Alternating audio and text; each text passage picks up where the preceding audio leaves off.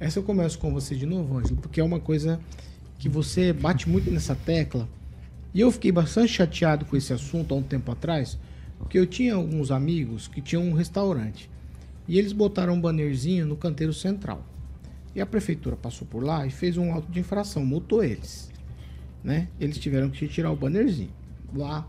Mas alguns têm que tirar, outros nem tanto. Parece que há uma seletividade quanto as pessoas colocaram aqueles wind banner ou qualquer outro tipo de coisa no canteiro central. Outro dia a gente falou da Avenida das Palmeiras, aqui, se eu não me engano, que é uma o canteiro central é quase que um, uma propriedade privada, né? Todo mundo faz o que quer. E aí você publicou ontem duas situações de canteiros centrais. Um é uma barraquinha e o outro um wind banner. Por que essa seletividade? Alguns podem, outros não podem em Maringá. O que acontece? Tem autorização para isso, afinal? Então, é, a, a lei, ela prevê, é uma lei antiga, ela prevê que a prefeitura deve ser comunicada. Se não me engano, hoje seria a Secretaria de Urbanismo e Habitação que autorizaria. E a fiscalização faz a parte dela independente das outras secretarias. Isso é o que eu sei. Tentou-se no ano passado liberar um banner sem, sem que a pessoa pudesse pedir autorização para a prefeitura. E esse projeto não andou tanto que procurei lá ontem, fiquei o dia inteiro procurando e não, não, apareceu. Parece que o pessoal vai voltar a trabalhar hoje na Câmara. Aliás, tem outra coisa que está no site da Câmara, aliás, não está, que são todas as legislaturas anteriores. Né? É, desde a primeira legislatura até agora, e sumiu, do nada sumiu, só ficaram os atuais vereadores. Então, eu disse que hoje ficaram de me dar a resposta.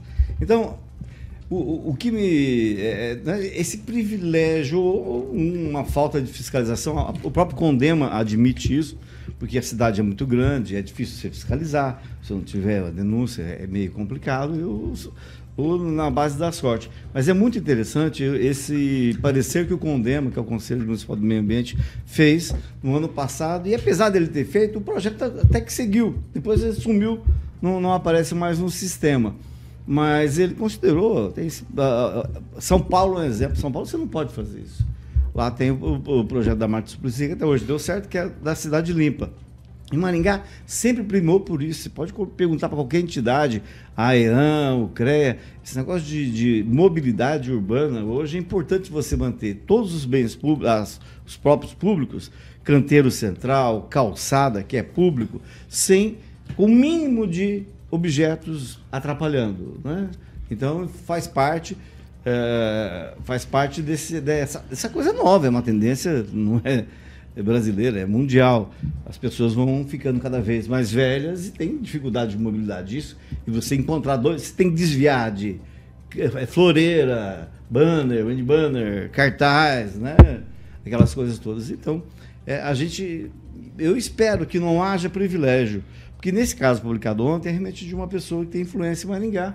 E não fosse a denúncia que eu fiz aqui, ela teria tomado parte da calçada, inclusive uh, usava, usava uh, mesas em cima da pista tátil, né, do, do, piso tátil, o que é proibido por lei, além de construir no próprio, avançando sobre a calçada. Então, tomara que isso aconteça. Acho que são, são como disse o Edivaldo, coisas pontuais, mas que não combinam com a prática. Uma cidade não se constrói assim. Uma cidade se constrói com respeito, principalmente à legislação. Neto? Acho que assim, é uma questão que é, é mais uma questão de irregularidades que precisam ser denunciadas. É, esse tipo de situação, por exemplo, que o Rigon mostrou, acontece em outras regiões da cidade, com outros comércios, né, com outros tipos de, de situações, e geralmente acontece quando? Aos fins de semana. Aos fins de semana, tem uma equipe de plantão da fiscalização na cidade, né? Porque todo mundo precisa descansar, tá com as suas famílias, então é, é destinado uma equipe de plantão. A prefeitura age, né? Eu falo por experiência né, de, eh, nesses setores, o Divaldo também conhece muito bem. A prefeitura age quando provocada, quando há uma denúncia. Então é importante a gente dizer para os nossos ouvintes que estão nos acompanhando e telespectadores que é preciso denunciar.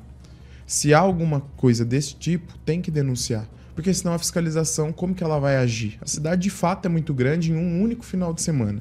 Né? Não é possível uma, uma, equipe, ou duas equipes, ou três equipes deslocarem todas as ruas que tem comércio na cidade em um único final de semana. Então, tudo isso precisa ser denunciado e, e assim, infelizmente, os bons pagam pelas pessoas que cometem más, más, más práticas, né? E é um fato.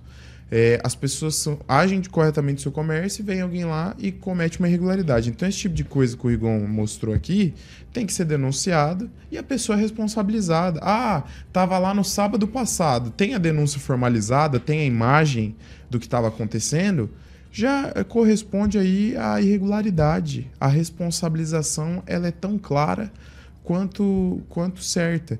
Então a gente tem que é, entender essa situação. Acredito que nós precisaríamos de mais servidores para fazer as fiscalizações das leis da cidade. Né?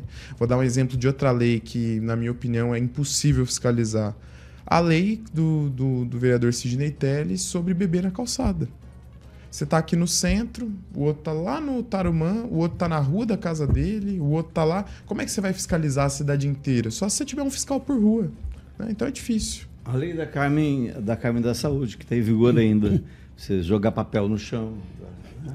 Isso é Nunca errado. é fiscalizado. É coisa que devia ser educação, Sim. não tem nem como fiscalizar. E, e o fato, se essa, fisca... se essa lei ela, ela, se essa lei ela funcionasse, se houvesse fiscalização, não estariam fazendo essas tampas para bueira aí, botando essas caixas de ferro dentro de bueiro para não entrar água no, no para não entrar lixo é, no, no, no, esgoto aí no, no esgoto não, perdão, nas galerias pluviais e ir para os rios. É um fato tanto de bueiro entupido aí não é folhinha. O bueiro entupido em bairro novo? Hum, que não tem árvore direito? As árvores a, a, é natural onde tem a, árvores que, que caem bastante folhas agora em, em outros bairros não